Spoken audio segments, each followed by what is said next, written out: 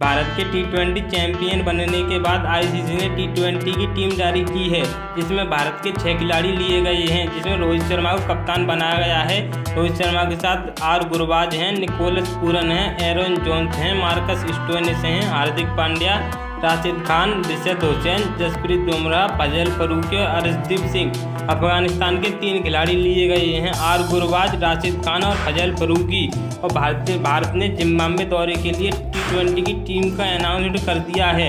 इसमें शुभमन गिल कप्तान हैं, अभिषेक शर्मा, शिवम दुबे, नीतीश कुमार रेड्डी, संजू सैमसन, ध्रुव जुरैल रियान पराग, यशस्वी जायसवाल, ऋतुराज गायकवाड़, रिंकू सिंह, मुकेश कुमार, तुषार देश पांडे वाशिंगटन सुंदर, रवि बिश्नोई आबिश खान, खलील अहमद हैं।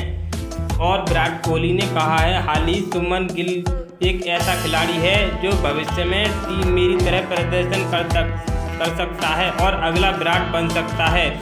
और रोहित शर्मा ने भी हाल ही में एक अपनी कप्तानी को छोड़ते हुए बयान दिया है। कि भारत के लिए दो खिलाड़ी ऐसे हैं जो कप्तान बन सकते हैं ऋषभ पंत और सूर्य कुमार यादव के लिए बताया है। और टी ट्वेंटी क्रिकेट में भारतीय कप्तान को और एक हार्दिक पांड्या के लिए नहीं कहा है, लेकिन जसप्रीत बुमराह ने भी बहुत बड़ा बयान दिया है सूर्य कुमार यादव के लिए और कहा है कि सूर्य कुमार यादव का कैच कभी नहीं भूलूँगा। इस ट्रॉफी जीतने का सबसे मुख्य कारण मेरी नज़रों में सूर्य कुमार यादव का कैच है। वह एक कैच नहीं, मैच था। और एडन मार्क ने, ने भी एक बयान दिया है। भारतीय खिलाड़ियों के बारे में बहुत सभी पूरी दुनिया में चर्चा हो रही है। अगर मुझे किसी खिलाड़ी से एक चीज़ चुननी हो तो मैं केवल रोहित शर्मा के पुल शॉट को चुनूँगा यह एडन मार्करम ने कहा है।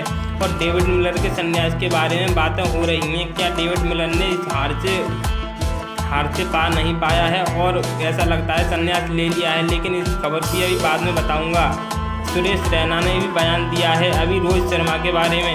रोहित शर्मा दुनिया के एक इकलौते ऐसे कप्तान हैं जो M S Dhoni, Chris Gayle, Virat Kohli तीनों से ही कंपेयर करते हैं। और गौतम गंभीर ने भी एक बहुत बड़ा बयान दिया है और कहा है कि मैं हर फॉर्मेट की टीम को एक अलग तरीके से तैयार करूँगा। और रोहित शर्मा ने रोहित शर्मा के बारे में कहा है। गौतम गंभीर ने कि रोहित शर्मा को 2027 तक टी ट्वेंटी वर्ल्ड कप की कप्तानी करनी चाहिए, क्योंकि उनका माइंड सेट ऐसा है, किसी भी टीम के ऊपर किसी भी टाइम पर हावी हो जाते हैं। रोहित शर्मा की बैटिंग भी काफ़ी मज़बूत है और मोहम्मद कैफ ने भी बयान दिया है कि भारतीय, भारत एक ऐसी टीम है जो किसी भी टीम पर भारी है। इस टाइम पर भारत के मुकाबले कोई भी टीम नहीं है। मोहम्मद कैफ ने भी बयान दिया है। हमें रोहित शर्मा की कप्तानी की तारीफ़ करनी चाहिए। यह मोहम्मद कैफ ने कहा है कि हमें रोहित शर्मा की कप्तानी की तारीफ़ करनी चाहिए, क्योंकि वह जसप्रीत बुमराह को ऐसे टाइम पर लाते हैं जब विशेष सख्त ज़रूरत होती है भारतीय टीम को विकेट लेने की। और डेल स्टेन ने कहा है, डेल स्टेन बोल रहे हैं कि मुझे तो अभी भी यकीन नहीं हो रहा है कि हम वर्ल्ड कप हार गए हैं। मुझे अब भी समझ नहीं आ रहा है कि हम आखिरकार हार कैसे गए। यह हार ज़िंदगी भर तक नहीं भूलूँगा और यह हार ज़िंदगी भर तक चुभेगी मेरे अंदर। लेकिन बिन प्रेडक्टरों के हिसाब से बता दूँ तो भारत ने यह सबसे कठिन मुकाबला और अहम मुकाबला जीता है फाइनल का, जिसमें भारत तीन परसेंट मात्र विजयी था, सत्तानवे परसेंट मैच दक्षिण अफ्रीका जीत चुका था। ऐसे में यह आप किसको कौन से खिलाड़ी को जीत का मुख्य टर्निंग पॉइंट बताओगे? एक मैच पचासी परसेंट जिसे पाकिस्तान के खिलाफ भारत जीता था मात्र पंद्रह परसेंट जीत प्रतिशत थी और इंडिया की एक में आठ परसेंट जीत की प्रतिशत थी।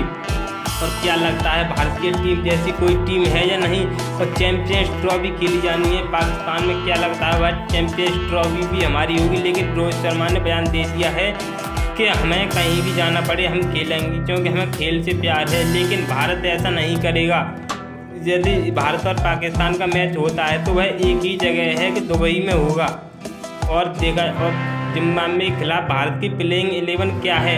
शुभमन गिल कप्तान है। शुभमन गिल ओपनिंग करेंगे यशस्वी जायसवाल के साथ और संजू सैमसन वन डाउन पर आएँगे। रियान पराग सेकंड डाउन पर और रिंकू सिंह आएँगे उसके बाद।